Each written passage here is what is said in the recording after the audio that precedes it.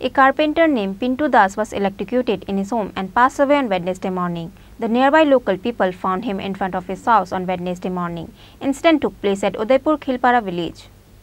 The local people of Udaipur Khilpara village were terrified because of the incident about a carpenter named Pintu Das was electrocuted in his home and passed away on Wednesday morning.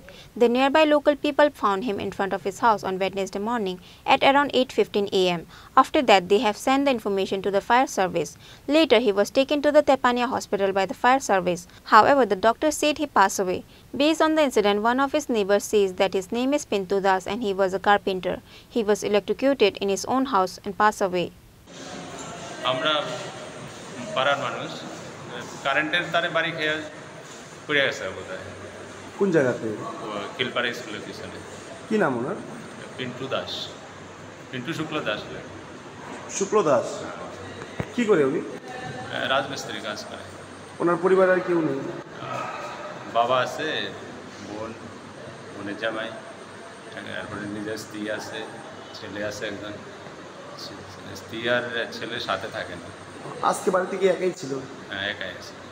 নিজ বিদ্যুৎ স্পৃষ্ট হয়েছিল হ্যাঁ বাড়িতে বাড়িতে মানে আপনার বারিন্দার মধ্যে পড়ে আছে। আপনারা পরে দেখছেন। হ্যাঁ পাড়ার মানুষ একসাথে হয়ে আছে মহিলারা বাচ্চারা দেখছে। তো তারা চিৎকার করতে আছে মনে মনে। আমরা দৌড়ে গিয়ে দেখি তারপরে ফায়ার সার্ভিসের ফোন করছি তারপরে ততক্ষণে দেখ গেছে যে নাই বুঝা তার ফায়ার সার্ভিস তো আর চিকিৎসক কি কইছে এখন? এখন তাই না আসার পরে ইসিজি করছে। আহ, কি জানাইছে? কেউ কইছে ইসিজিতে কিছু নাই। মারা গেছে। নামটা কি বলেছিলেন পিন পিন্টু শুক্ল দাস। পিন্টু শুক্ল দাস লেগে ইয়া পিন্টু দাস লেগে।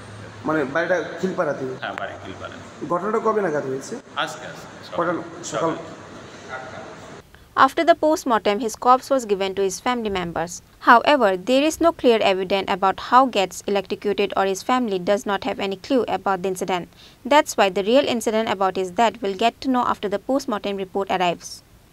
Reported by Rajiv from Udaipur, Chinikhorang.